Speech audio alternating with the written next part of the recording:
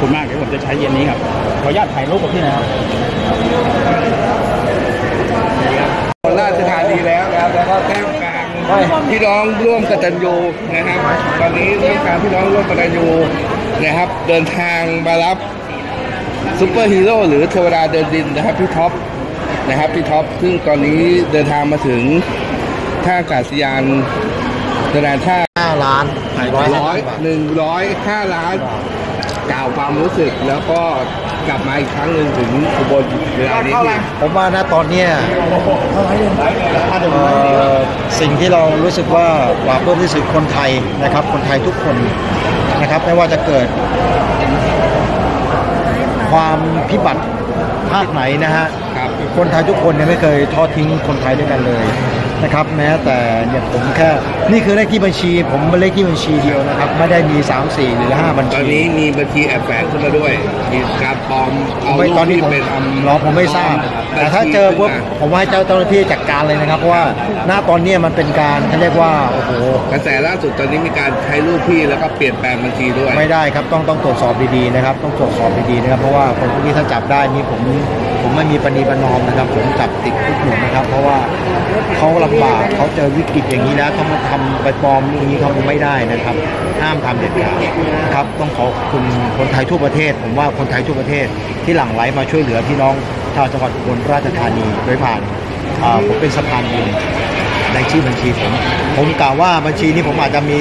ไว้สักสองแสนที่แล้วก่อนที่ผมจะลงหน้าแฟนเพจเนี่ยผมมี1นึ่งล้านสองแสนกว่าบาทครับณตอนนี้เป็นร้อยล้านผมก็ถือว่าอันเนี้ยบัญชีเนี้ผมยกให้ยกับกให้พี่น้อง ประชาชนประชาชนชาว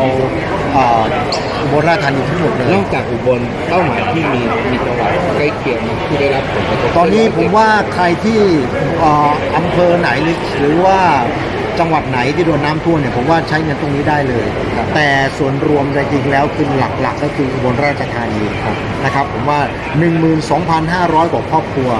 ค่าครอบครัวละ 5,000 บาทที่ผมจะให้เนี่ยพอเพียงมากครับมันหนึ่งตั้งร้อยเป้าล้านบาทตั้งเป้าแต่แรกหนึ่ง ผมก็พูดแบบลักษณะผมกล่าวว่าอย่างน้อยเงินช่วยผมประมาณก็ผมอาจจะได้มาสัก200ครับอ่าสักร้อยอ่าสักล้านหนึ่งสองล้านครับผมยังบอกทางเจ้าหน้าที่เฮ้ยเตรียมคนไว้ประมาณสัก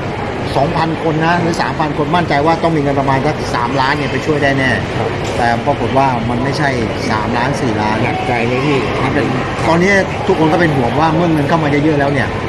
เราจะบริหารจัดการยังไงครับ เราจะทำยังไงเพราะเงินก้อนนี้รับรองว่าเงินทุกบาททุกสตางค์จะทำให้โปร่งใสที่สุด ให้ชาวบ้านที่ได้รับความเดือดร้อนเกี่ยวกับผลกระทบภัยครั้งนี้ ได้รับอย่างเต็มเน็ตเต็มหน่วยมากที่สุด ไม่ใช่แค่น้ำท่วมอย่างเดียว แม้แต่หลังน้ำลดแล้ว เราก็ต้องบูรณาการเกี่ยวกับเรื่องชีวิตและความเป็นอยู่ต่อไป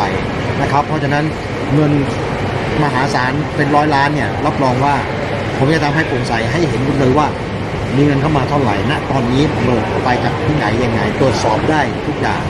นะครับฝากถึงผู้ประสบภัย ผมเชื่อว่าตอนนี้เฝ้ารอฮีโร่ของเขา ก็ผมต้องขอขอบคุณแทนพี่น้องชาวจังหวัดอุบลราชธานี แล้วก็ยินดีกับพ่อแม่พี่น้องชาวจังหวัดอุบลราชธานีด้วยนะครับเพราะมีคนไทยหลั่งไหลเข้ามา เอาเงินมาให้ท่านก็ผมว่าถ้าผ่านวันนี้ไปได้นะน่าจะมี ไม่ต่ำๆก็ต้องมีร้อยยี่สิบร้อยสามสิบล้าน ตรงเนี้ยนะครับ ผมไม่ใช่หน่วยงานรัฐบาลผมไม่ใช่หน่วยงานเอกชนที่นั่นมันเป็นส่วนตัว ผมสามารถนำเงินทั้งหมดเนี่ยให้พ่อแม่พี่น้องชาวจังหวัดอุบลราชธานีได้ทั้งหมดนะครับที่ถูกประสบภัยไม่มีขั้นตอนมากมายนะครับ เดี๋ยวเข้าไปหลักฐานที่ท่านมีอยู่ครอบครัวมีอยู่นะครับ อำเภอนี้มีกี่ตำบลมีกี่ครอบครัวที่เดือดร้อน เราเข้าถึงโดยตรงเราแจกกันเลยนะครับเงินสดๆท่านจะได้ไปทำในสิ่งที่ท่านต้องการนะครับตั้งเป้าแต่แรกครอบครัวละหนึ่งพันตอนนี้เพิ่มเป็นห้าพันแล้วต่อครอบครัรวถที่แรกผมตั้งไว้ไว้พันเป็นสองพันครับเพราะมันเป็นสามพันเยอะโอ้ได้เงินเข้ามามากมายเนี่ยผมว่าสามพันก็แป๊บเดียวให้ห้าพันพี่อยากกล่าวอะไรความรู้สึกกับเอ่อตัวเงินกับตัวแทน ตัวแทนคนไทยทั้งประเทศมันมีหลังหนึ่งบอกว่ามันทำทั้งหลังเลยแล้วแต่จะพิจารณาโอเคครับอยากกล่าวอะไรในความรู้สึกที่ที่พี่เป็นสะพานบุญแล้วก็เงินไม่ไม่ไม่ก็ผมก็คิดว่าส่วนหนึ่งที่หนึ่งล้านหนึ่งของผมเนี่ยผมต่อยอดได้เป็นเป็นร้อยล้านเนี่ยมันเป็นความรู้สึกที่ปลาบปลื้มใจมากกับทุกคนชาวไทยนะครับไม่ใช่ไม่ใช่ไม่ใช่ว่าเป็นเงินของผมนะครับเงินของผมแค่ล้านเดียวและล้านสองแสนนะครับแล้วก็อีกร้อยล้านเนี่เป็นของพี่น้องประชาชนคนไทยทุกคนที่ร่วมช่วยกัน นี่คือรู้เลยน้ำใจของคนไทยวงโบราณมากมายนะครับ เพียงแต่ว่าเขาอาจจะ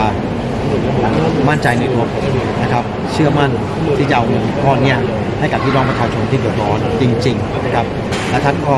รับรองนะครับ ท่านดูคนไม่ผิดครับผมเนี่ยจะเอาเงินตรงเนี้ยทุกบาททุกสตางค์ให้เขาทุกอย่าง ถ้าผมเอาเก็บเข้ากระเป๋าผมแม้แต่สตางค์อย่างเดียว ผมมันเงินไปไปได้เลยรับรองนะครับ ทุกบาททุกสตางค์ผมจะช่วยให้เต็มที่นะครับขอบคุณพี่น้องชาวไทยทุกคนอะไรนั้นนี่ก็ได้ถามว่าหลังเท่าไหร่นะหลังละห้าหลังละหมื่นเหรอแล้วไม่ไม่สามารถไปทำอะไรได้ จริงๆ ประสบการณ์ที่พี่พี่ท็อปลงพื้นที่มาตั้งแต่ก่อนหน้านี้จนมาเห็นสภาพชีวิตความเป็นอยู่จริงๆเอ่อ ตั้งใจเป้าเป้าหมายคือครอบครัวละหนึ่งพันจริง ๆ แล้วเนี่ยทำไมเริ่มต้นอีกที่ผมกลับมาผมมองผมกลับมาแล้วผมจะเอาเงินมาให้เนี่ยครับ จากที่เราลงพื้นที่ใช่ไม่กี่วันใช่ นะผมให้คนแก่แก่คนละพันคนละพันคนละพันเขายกมือท่วมหัวแบบโอ้โหบางท่านแย่แทบจะกราบเพราะว่าหนึ่งสิ่งที่เราต้องการคนป่วยเนี่ยคนนั้นผมให้ห้าพันให้สามพันผมรู้ว่าเงินเงินเป็นปัจจัยที่สำคัญผมเลยตัดสินใจว่าไหม ผมกลับเทียบผมจะเบิกเงินส่วนตัวผมหนึ่งล้านบาทผมจะกลับมาอีกทีแล้วผมจะมาให้กับชาวบ้าน ที่เราเข้าไปในพื้นที่เราไปเห็นความเป็นอยู่ของเขากลับจะกลับไปย้อนให้เขาไปอีกทีหนึ่งแล้ววันนี้ผมก็คิดว่าแบบอะลองชวนเพื่อนหน้าแฟนเพจดูอะคนละยี่สิบคนละห้าสิบเรารวบรวมกันเราจะได้เออจะได้เขาจะจะได้มากกว่าผมตั้งไว้หนึ่งพันครอบครัวถ้ามีคนมาเยอะอาจจะสองพันครอบครัว แต่นี่มันกลายเป็นช่วยได้มหาศาล มันเป็นอะไรที่ระลึกไม่ถึงจริงๆแต่ผมเชื่อว่าน้ำใจคนไทยนะครับ ยังไงก็ไม่ยอดทอดทิ้งกัน ไม่มีการแบ่งพรรคแบ่งพวกครับวิกฤตอย่างนี้แล้ว เราคนไทยคือรวมใจกันตอนนี้ยังรับบริจาคอยู่หรือเปล่าครับ ก็ยังรับอยู่นะครับ เพราะว่ายังก็ยังไม่รู้ว่าจะจะไม่รับด้วยเหตุผลใดนะครับ เพราะบางคนก็ตั้งใจแล้วที่อยากจะทำโดยผ่านทางเราทางที่เราทำดู คือเราเราก็ตั้งใจว่าโอเค เอาไว้ว่าตอนน้ำท่วมโหลดหลังรถแล้วผมจะบอกย่อยทีว่าตอนนี้เงินยอดเท่าไหร่ แล้วเรามาบริหารจัดการกันว่า เราจะช่วยพี่น้องประชาชนที่เดือดร้อนจริง ๆ หลังน้ำลดแล้วเห็นบอกว่ามีบ้านหลังพังทั้งหลัง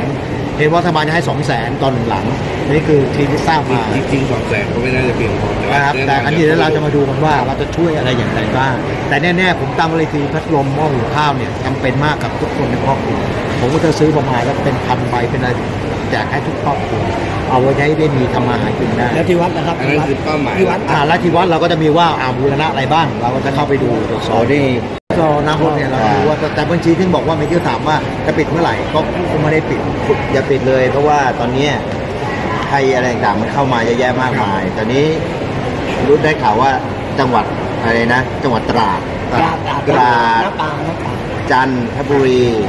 พวกนี้ไล่มานี่คือมีความเสียหายหมด ดีแล้วล่ะยากยอดครับวันนี้ที่พี่จะลงพื้นที่เนี่ยเนื่องแล้วพี่ก็เบิกมาแล้วเจ็ดล้าน ตอนนี้เบิกมาแล้วเนี่ยตอนนี้เงินสดมาแล้วเจ็ดล้าน ก็แสดงว่ามีเข้ามาร้อยร้อยกับหกล้านเพราะเงินสดเหลือหนึ่งล้านเนี่ยที่ร้อยแล้วจะอยู่ไหนวะอย่างน้ำลดอีกนะครับนี่คือกฎการรอนะครับหนึ่งสองสามนะครับเพียงไม่กี่วันทีนะครับทางน้ำใจของพี่น้องชาวไทยคนละสิบบาทยี่สิบบาท ใครมีมากทันมากนะครับแล้วก็พี่บินก็ยังเปิดรับอย่างต่อเนื่องนะครับเพราะฉะนั้นเอ่อแผนระยะยาวยังมีรับนะครับเพื่อจะนำนะครับที่บินไปที่ชุมชนนะครับทะลุหนึ่งร้อยล้านไปเรียบรับโลกของเราฟรีนะครับนำส่งที่หมายนะครับนี่คือภาพสดนะครับ เขาลำบากเขาเจอวิกฤตอย่างนี้แล้วถ้ามันทำไปปลอมมือทำไม่ได้นะครับห้ามทำแบบนี้ครับต้องขอคุณน่าจะร้อยกับห้าล้านร้อยร้อยหนึ่งร้อยห้าล้านกล่าวความรู้สึกแล้วก็กลับมาอีกครั้งหนึ่ง